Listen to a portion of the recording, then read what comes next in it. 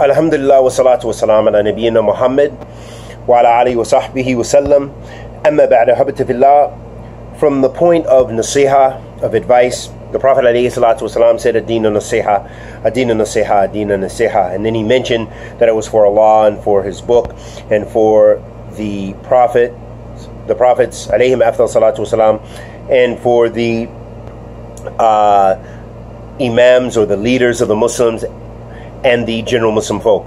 So, nasiha, advice, is a part, an intrinsic part of Islamic. Uh, Islamic belief, in Islamic manners, and adab.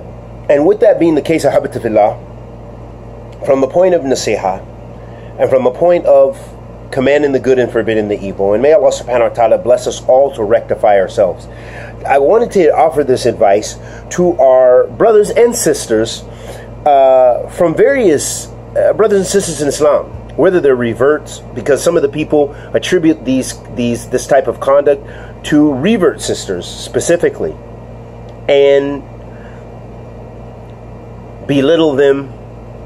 Sometimes there's racism involved, and think that they are less than someone, especially who is of Arab uh, background or some other background.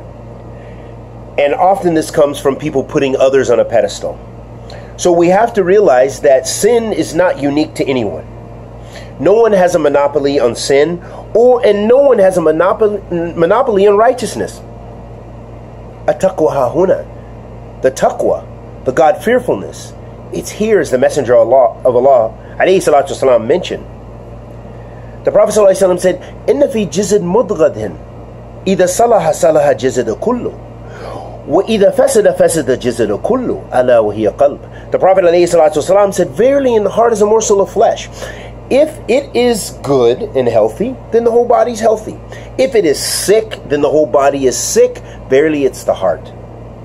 So we know that we distinguish ourselves through taqwa azawajal. And I wanted to mention more directly, directing this advice to the sisters, but even the brothers as well, to not destroy your image and yourself on social media.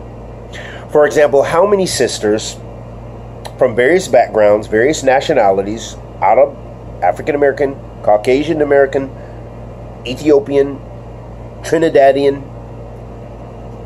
Chinese, Turkish models that become models swimsuit uh, representatives, you know, uh, makeup artists, musicians, self help people with makeup and music and every kind of facade you can think of, the Muslims are doing it because the Prophet said, You will follow the way of those people who came before you, meaning the Yahud and Nasara, the Christians and the Jews. The Prophet said, "Men minhum." Whoever resembles a people, then he's from them. So it's imperative, ahabatifillah, that we begin to reform our conduct and our character. And what you put out there on social media is something that will stay with you. Because maybe people are saving your image. Maybe people are cutting and pasting your image. So be careful of what you expose about yourself. I've noticed since I've joined the Facebook community how much people put about themselves. You have some religious people that are even students of knowledge all up cozy with their wives. Don't they realize that people can give you ayn? People can, uh, you know, they're looking at your spouse. They're, you know, it's all kind of crazy, wicked facade. There's no khair in that. No matter how many people you think you are entertaining or making joyous or showing that you love your spouse, show your love to your spouse. It doesn't have to be on camera. It doesn't have to be in the social media world. Because that can come back and destroy you. And so it's very important, but especially sisters showing their beauty. Some of the sisters, they're niqab one minute, next thing you minute, everything's hanging out. They're all over. Uh, you just wonder what's what's going on in their mind and we probably have a good idea what's going on in their mind but if they only knew that their beauty they didn't even let the people to really see their beauty. And in fact, their beauty is reserved for their husbands when they get married, if they're married or if they're not married. But the true beauty is going to be internal. Yes, we love the physical.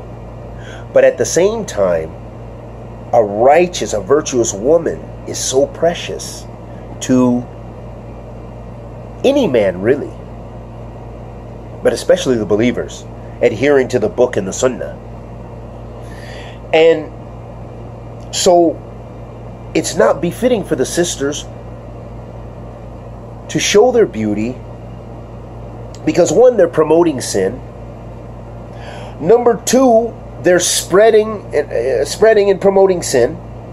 They're gaining sin. They're encouraging sin. And they are losing the respect of the people, no matter how much. I've seen the comments of people with some of these sisters displaying themselves like that. And even brothers, big beards, brothers on this, and brothers look, and, and the stuff they're saying. And even that's not befitting. It's not befitting. You're putting all your business out there on social media. And again, as I said, that stuff comes back to haunt you. It's amazing how people have not learned, as long as this type of social media has been out there, and as much as it's become so uh, so commonly, uh, there's so much awareness out there, but people as act as if they're unaware, and as if their community is so close. People spill everything about themselves and their families and their private and and their their health, their family's health, their death over here, their sicknesses, their you know, it's become we're a different uh, we're living in a different time. So be cautious of what you put out there.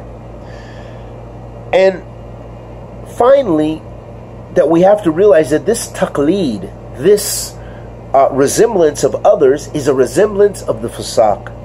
It's a resemblance of the people of sin. It's a resemblance of Ashab al Jahim, of the people of Jahannam. Because the Prophet ﷺ mentioned that what he saw in Jahannam when it was shown to him والسلام, in the hellfire, that he saw that most of its inhabitants were women because they were, uh, you know, basically disobedient to their husbands and and and and not uh, and and never content with their husbands.